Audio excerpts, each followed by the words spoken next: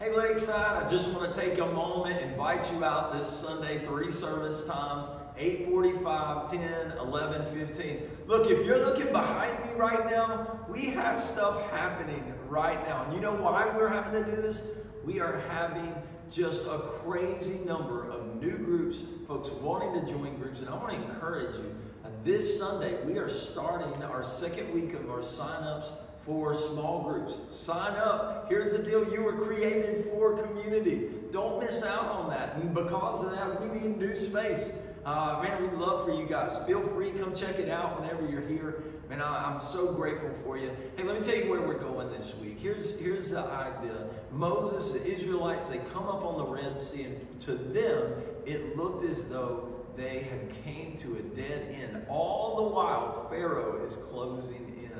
Here's one of the commands that, that Moses goes and gives back to the Israelites. He says this, the Lord will fight for you.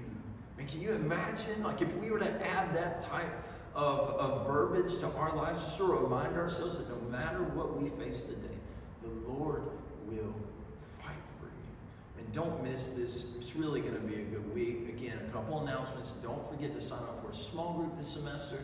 Really encourage that. And hey, by the way, four more baptisms this week. Guys, this is incredible. We're watching God move. Don't miss out. Bring somebody along with you this week.